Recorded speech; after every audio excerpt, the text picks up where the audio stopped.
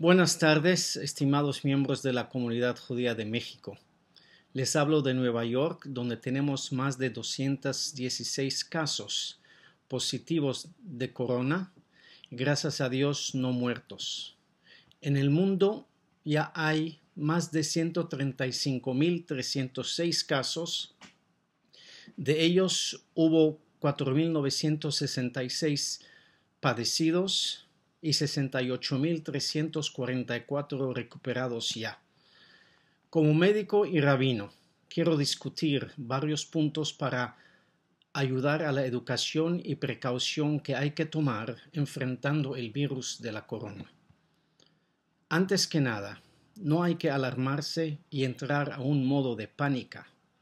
Estoy muy de acuerdo con el comunicado del Comité Central de la Comunidad Judía de México, que se sugiere no alarmarse ni causar alarmas innecesarias, ni emitir comunicaciones infundadas que puedan afectar la vida civil de la población.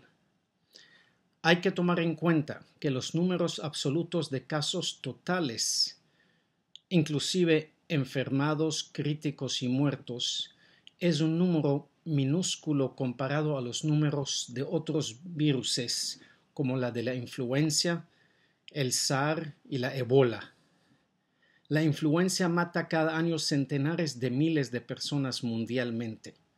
El SARS y la ebola son más infectantes y con mucha más mortalidad que la corona. Pero proporcionalmente, la corona es más infectante que la influenza, con una mortalidad diez veces más que la influenza. Y aunque causa menos mortalidad que el SARS y la ebola, es más infectante que ellos y más prevalente. Por lo tanto, hay que tomar eso muy seriamente, pero sin alarmarse ni entrar en pánica. Las autoridades están respondiendo de una forma muy amplia para poder enfrentar y mitigar la propagación del virus.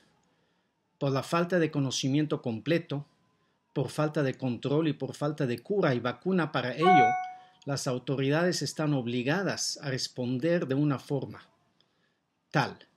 Nuestros hajamim, nuestros sabios, dijeron que el Todopoderoso precede con una cura para la enfermedad antes de que la enfermedad venga. Por lo que uno debe creer que existe una cura, solo uno tiene que encontrarla.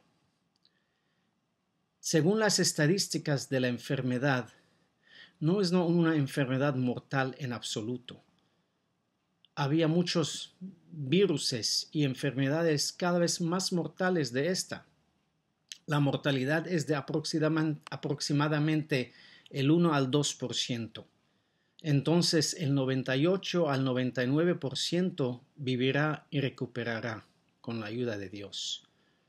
El problema es que debido al pánico que se provocó, la población va a los hospitales y utilizan los servicios de salud aunque tal vez no lo necesiten.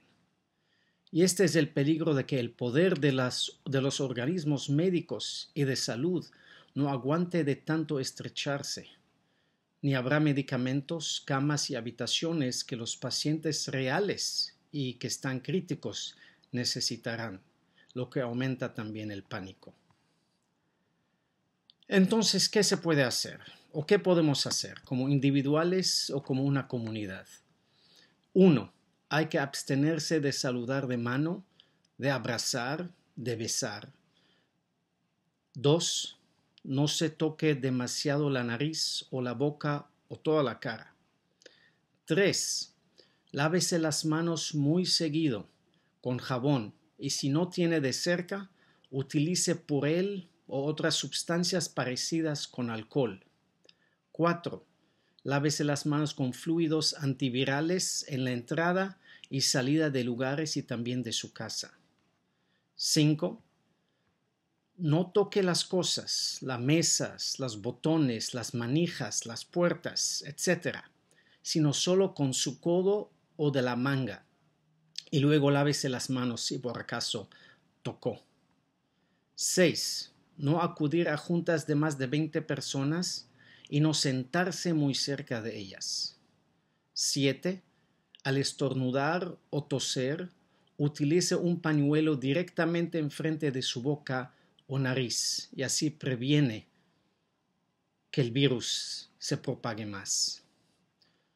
Ahora la responsabilidad hacia la comunidad y a sus instituciones, especialmente si la situación en México empeora. Uno, tal vez hay que considerar cerrar las escuelas y las yeshivot. Dos, no debe de haber juego entre niños de diferentes familias que se junten los niños a jugar fuera de las escuelas. 3. Mantener un minyan de no más de 20 personas.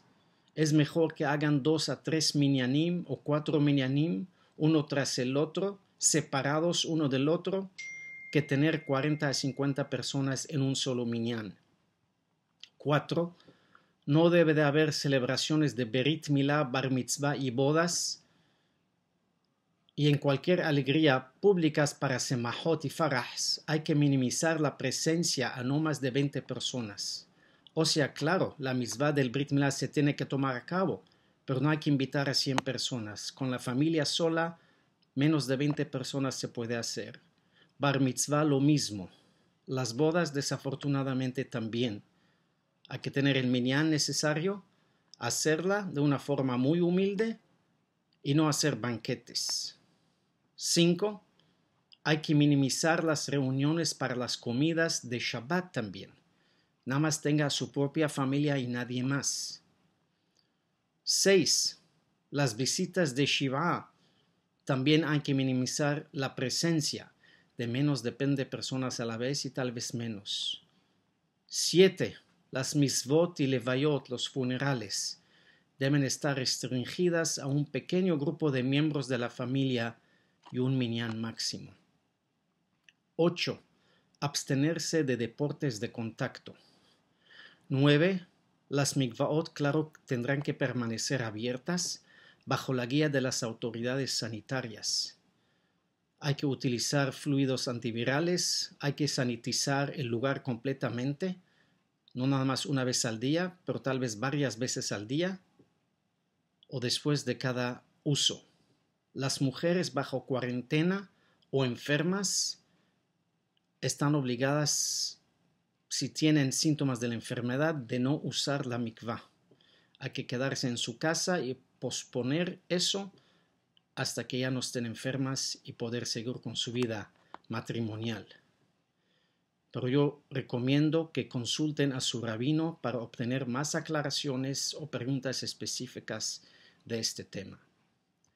10. Cualquier persona que se sienta un poco enfermo o tengan congestión nasal o tos, que no se acerquen a las personas para nada y que no asisten a tales reuniones, ni a la sinagoga, ni a clases, ni a faras ni a alegrías.